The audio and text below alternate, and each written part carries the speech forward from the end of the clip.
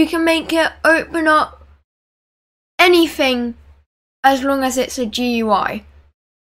However, I will be showing you how to make the shop and in another video I will be showing you how to make it so you can buy game passes and developer products in that shop. Okay, let's get into the video. Okay, so guys, the first thing you're going to want to do is make sure that your Explorer is open. If it's not open, click on View, click on Explorer here so it's grayed out. And then it should appear on your right side here. Then when you find Starter GUI, click on the plus and add a screen GUI. Then in that screen GUI, we are going to add a text button. And then once we have the text button, we are just going to move it to where we want because this is what we're going to use to open up the shop. So we can just rescale it if we want. And then obviously you can customize it as well. So I'm just gonna make it so that it is green. Actually no, I'll use blue for this.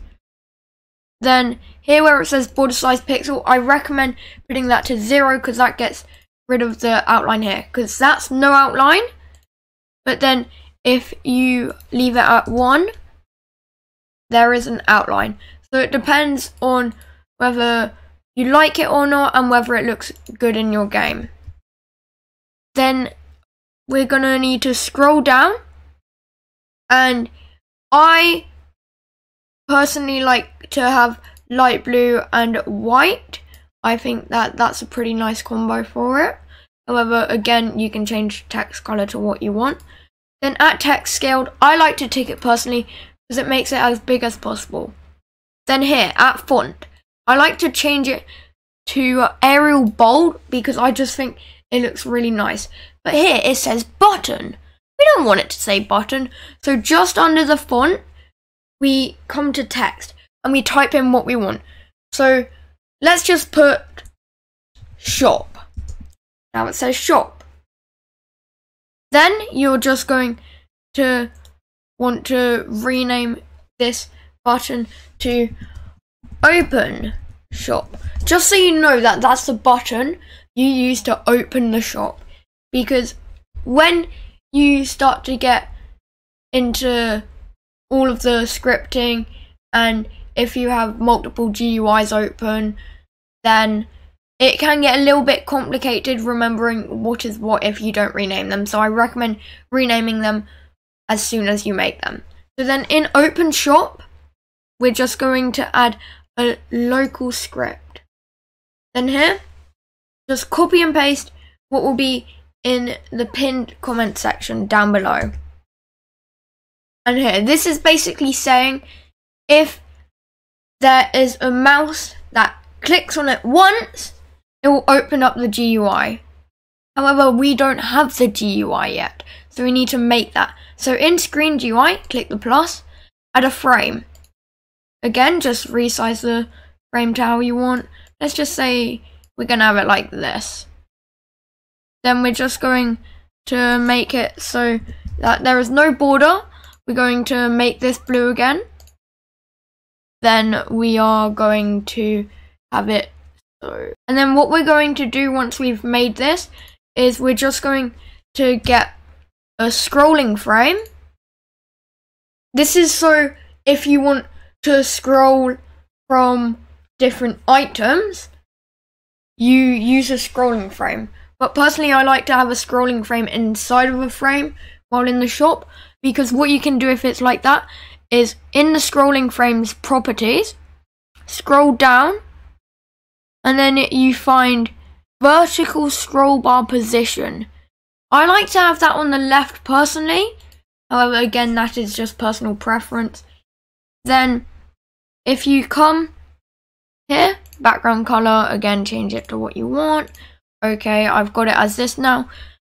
However, look, there is still an outline, and that's not a very nice one. So, what we're going to do is we're just going to get rid of the outline again. And now we have got this. So I'm gonna put it like here for now.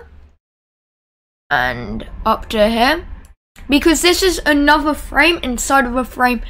So here, I'll just demonstrate what happens. So let's say we put a text label here. I'm not even gonna bother changing it. But uh okay, so we have got two text labels. Let me just find this. One's up there, and then one's down here. You can only see them when you scroll. However, it doesn't scroll this part as well, which is very useful. So let's say you want to have buttons for different sections in the shop. So let's say you've got two types of currency, like maybe cash and then gems. And then you also want to have game passes, something like that. You can just have different sections for all of them.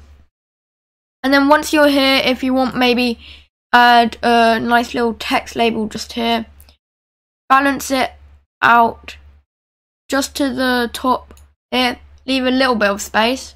And now I'm not going to make it the same color. I have a slightly darker shade of blue I use. It's this one here. And then I'm just going to scroll down all the way down till I see the font. I'm going to change that to Arial Bold as I love Arial Bold. Then I'm going to make text scaled and I'm just going to make the text shop. Then I'm going to make text color white and I'm just going to make border size pixel 0. So here, now we can scroll down. But the thing is, this short part stays here, which I like. Because if you want the text to scroll with it, you just put it in here. But if you don't, you just put it above. So we may have made it so the shop opens. However, we haven't made it close yet.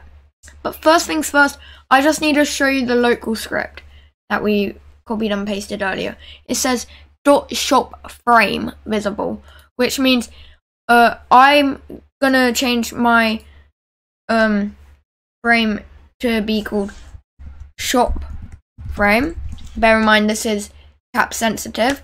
However, if you want to name it something else or just want to name it frame or something like that, feel free. You just need to change it in the local script.